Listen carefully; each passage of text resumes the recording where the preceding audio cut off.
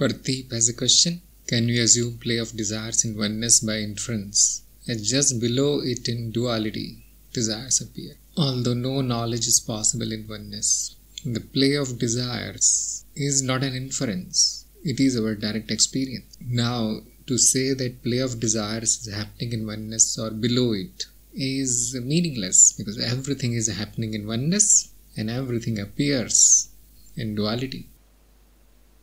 The desires are aborted at the level of mind in duality, yes, it, it is happening totally in the illusion because that which aborts the desires is also an illusion. The it is not correct to say that the desire is aborted. We say that the action is aborted because the desire is already there.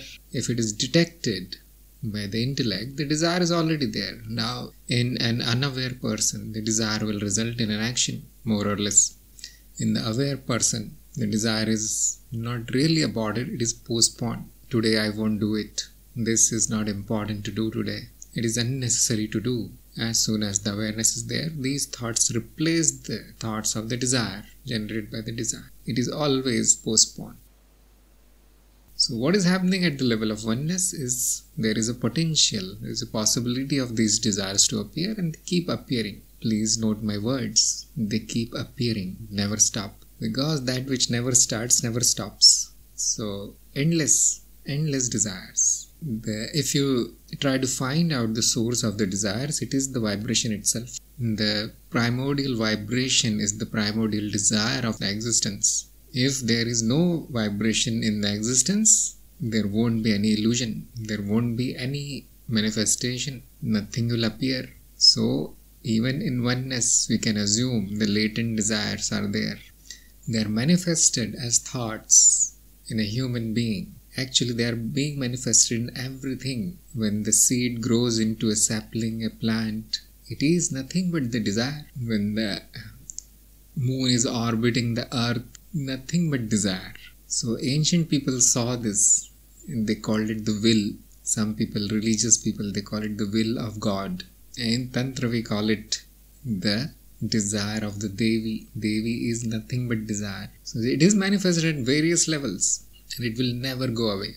To think that I can abort a desire by simply becoming aware is a mistake. I can abort the action, yes, that is possible, but there are consequences. This abortion of the action also is an action and therefore it has consequences. These consequences are not in our control. The action is in our control.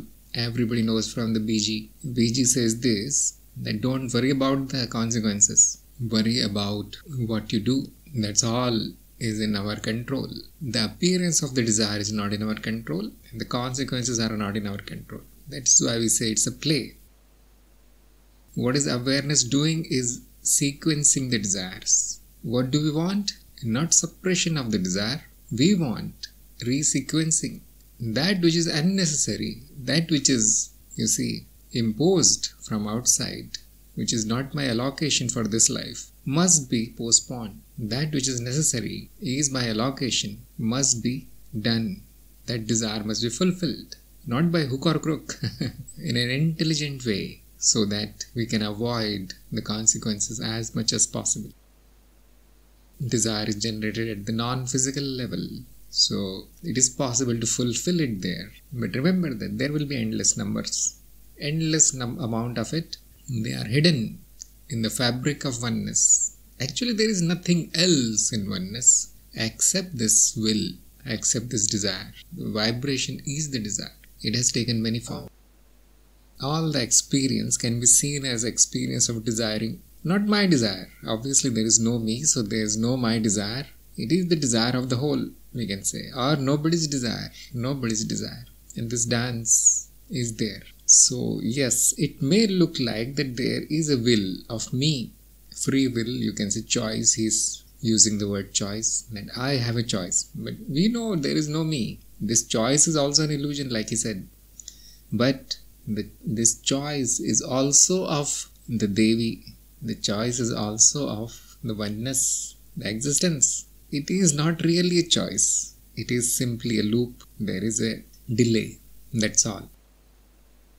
something is seen as more important, then that is chosen automatically and it continues. It is very simple. It is very mechanical thing because it's simply vibration. It gives an illusion that there is something which is choosing, and because of the identification, an ordinary ignorant person will say, "I chose." I became aware, then I chose the desire. No, nothing like this happens. So hopefully that answers the question. Everything can be seen as a desire. Even the tiniest movement in the existence is nothing but a desire. It has become very, very complicated and uh, sophisticated in case of humans, and there is identification with it, added drama with it, and uh, this whole evolution is a desire actually. Whole evolution is a desire, and the only useful desire that we have in the whole existence is to know my true nature. One out of infinite. Rest are useless. One is most important. From the point of view of uh, the oneness, everything is happening perfectly. It will say, I am perfect, everything is happening perfect. That is also our direct experience. If the if the human factor is introduced, then yes, some things should not happen. but the illusion does not care. The Maya, Devi does not care. It just goes on and on and on. So it is only our ignorance that is causing misery, unhappiness, and all. Everything is actually as good as it should be. Graham has some comment. Well, I don't read all this text, you see, but I'll guess for you that uh, this this comes from another tradition. Actually, it's totally different. When we say will, obviously it is not the individual will. That must that thing must be clear. And just like i was saying that day that when we think we when we see things moving when there is movement when there is change we say that there is will behind it. And the will is not individual it is universal will. And this uh, thing yeah it's not our will so this change is seen as a will of something. That is how our mind knows it. That is how our, our intellect responds to it as if it is being done willfully. Because it looks like there is a teleos which means there is a end to it. It is happening for some reason it looks like. There, it looks like there is a direction to the universe. And this quote is expressing this thing. So she is the universe yes she has her own will and she is expressing that will what are we humans byproduct of this thing we are means we are puppets in this play. Path of energies where the Devi is supreme. Yes, it sounds like Teleos, yes. So, exactly like that. It is saying the same thing, which I keep saying, you see. Not my will, thy will. Same thing in the Bible. The problem is people become uh, content with this thing. When these teachings are given, Oh, not my will, so I will not do anything, and today we'll just sit here and pray and sing. It's one thing to surrender and another thing to obey the will. You see, surrender does not mean that you sit down and do nothing. Obey the will. Now, when I say these things, people don't like it, so we don't say it.